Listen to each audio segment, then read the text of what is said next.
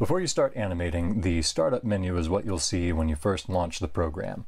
If you just want to draw for fun, you can enter a scene name like test and click create scene and skip ahead to the next section. But if your eventual goal is to make real projects, it's good to know what we're looking at here.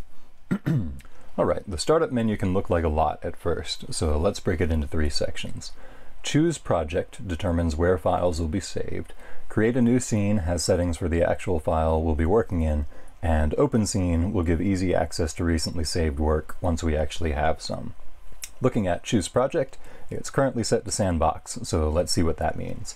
If we go back to our OpenToonz stuff folder, there's a subfolder called Sandbox, and this is where our work today will be saved.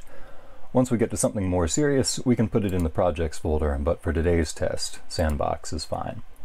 Under Create a New Scene, the three main items to look at are scene name, resolution, and frame rate.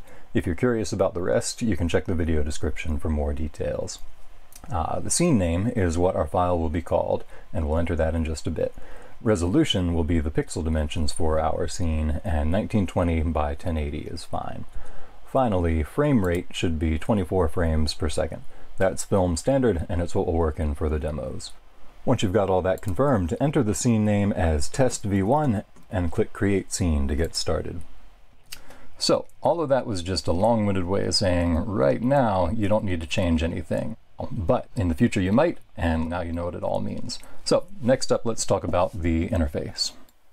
I hope you find these videos helpful, and if so, subscribe for more tutorials and check out thundercluck.com, especially if you have any young readers or fans of animation in your life. Thanks for watching.